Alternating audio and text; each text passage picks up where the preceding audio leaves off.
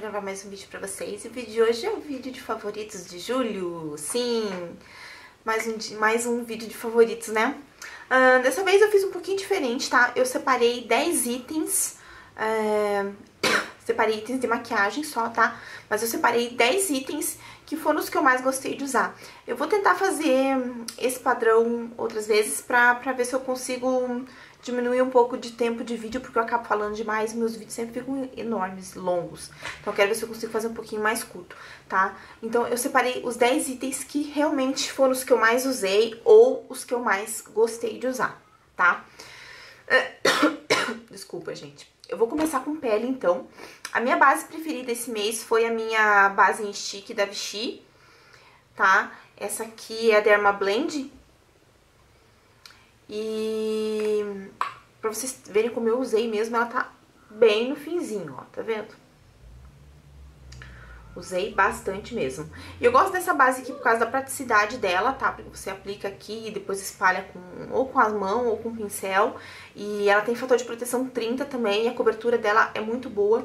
E ela tem um acabamento assim mais, mais pro sequinho também, então eu gosto bastante dessa base tá? De corretivo, eu peguei o meu Tracta líquido pra usar esse mês também, porque ele tá bem no finalzinho, então eu quero ver se eu consigo terminar com ele, tá? E é um corretivo que eu gosto bastante também, porque ele tem uma cobertura bem alta, é uma cobertura muito boa, é, então ele cobre super bem tanto as olheiras quanto as manchinhas do rosto.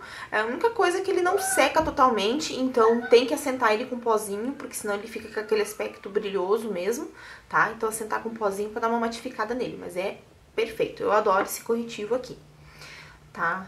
Pra finalizar a pele, eu peguei o meu próprio primer da MAC, que é aquele pozinho branco, esse meu aqui é na versão prensada, tá? Que ele tava meio abandonadinho, eu peguei bastante esse mês pra usar esse pozinho aqui, tá? Que ele é um pozinho translúcido pra finalizar a maquiagem, e eu gosto bastante dele. É, o meu Stay Matte da, da Rimmel Londo tá bem no finzinho, tá quase não dando mais pra pegar ele ali, então eu comecei a usar este aqui e eu gosto bastante porque ele dá um acabamento bem bonito na pele e não pesa e você pode retocar durante o dia também que ele não vai pesar a tua maquiagem, tá? Uh, outro produtinho de pele que eu usei muito esse mês, assim, que eu notei que eu usei bastante, bronzer da MAC, tá? Da coleção Allure Aquatique. Esse aqui é na cor Delphic. Ele é daquela linha Extra Dimension da MAC, tá? E eu usei muito esse produto esse mês aqui, porque eu conseguia fazer com ele um contorno se eu quisesse, ou se eu quisesse simplesmente dar uma bronzeada no rosto. É, eu inclusive tô usando ele aqui, ó.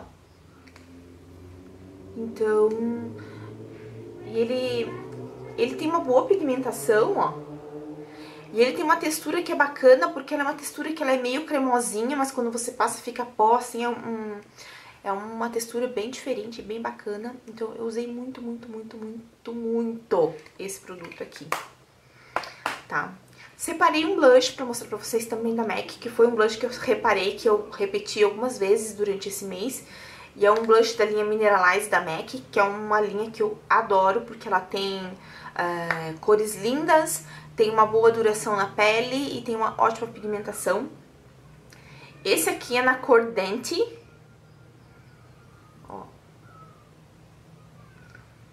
dente, tá?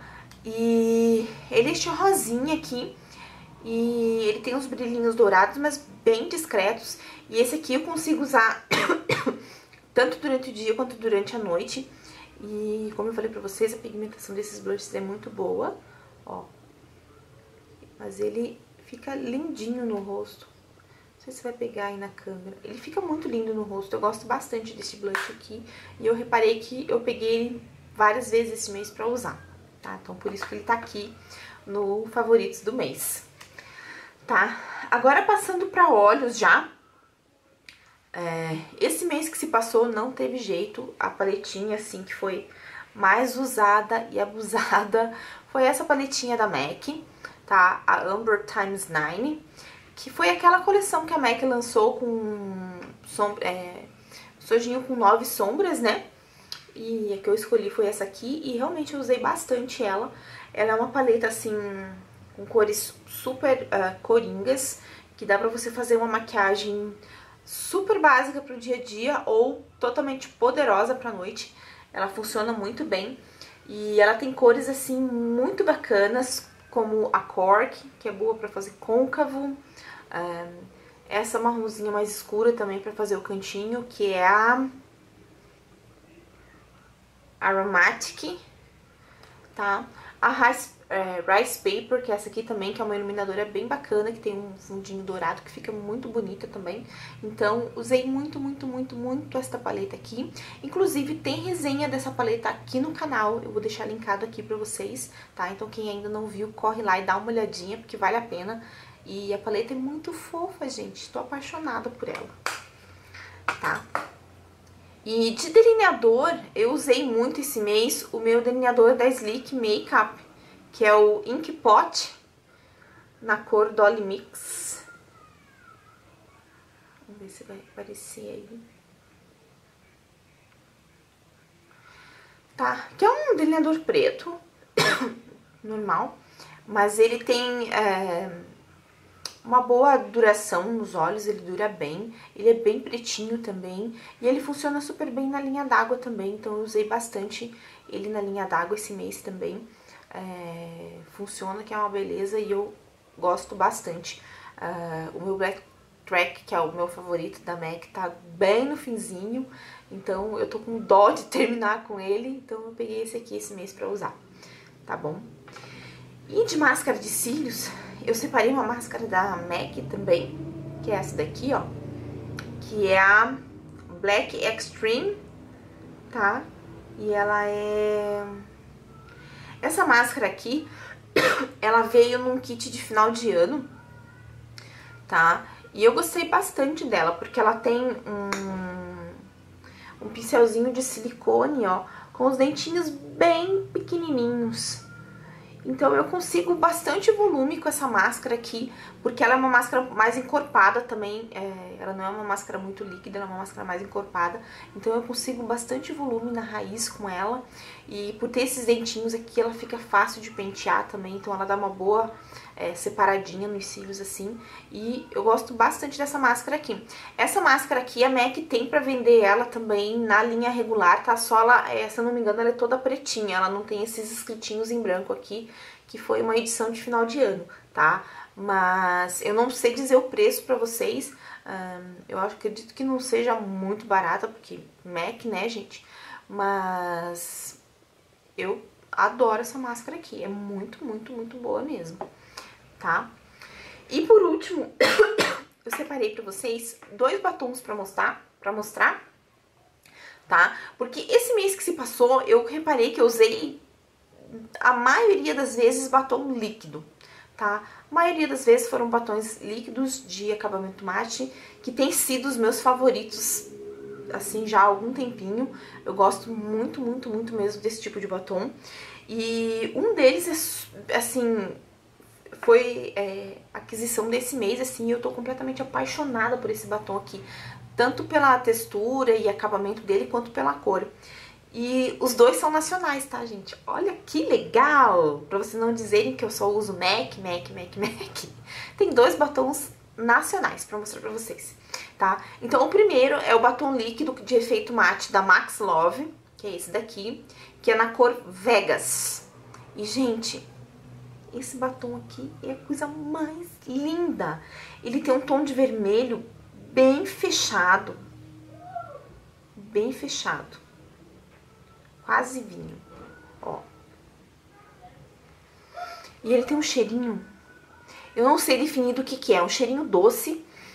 Mas não é... Eu não, acho que não é, não é baunilha. Eu não sei definir do, do que que é esse cheiro, gente. Mas é delicioso. Eu tô apaixonada pelo cheirinho. Então, é esta cor aqui. E ele fica bem sequinho nos lábios, tá? Eu até fiz resenha desse batom aqui também. Esse tem uma outra cor dele também aqui no canal. Vou deixar o link pra vocês aqui em cima, tá? Da resenha dos batons. É, eles são similares aos batons da Dylos na textura, tá? Porque eles são mais cremosinhos. Mas eu acho que esses aqui, eles ressecam menos o lábio do que os da Dylos, tá? Então vale a pena. E o preço é super baratinho também. Eu não lembro quanto que eu paguei. Eu paguei barato na Net Farm eu comprei. Eu não lembro agora quanto que eu paguei, mas não foi caro não, foi baratinho. Acho que coisa de 18 reais, talvez nem isso, tá?